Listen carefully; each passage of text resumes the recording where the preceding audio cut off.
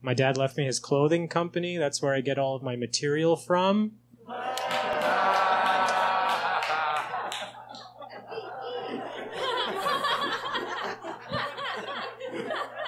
Four years ago today.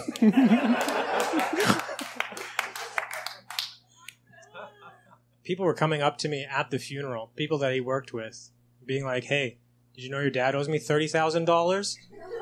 I don't have a receipt. You just have to trust me." And I was like, "Well, just take it up with him, man. I don't know what to fucking tell you." I was in Edinburgh six hours ago. I mean, people were asking me for money though at the funeral too. No. People were like, "I'm so sorry about your dad," but we had some pockets that we were designing for his new pajamas.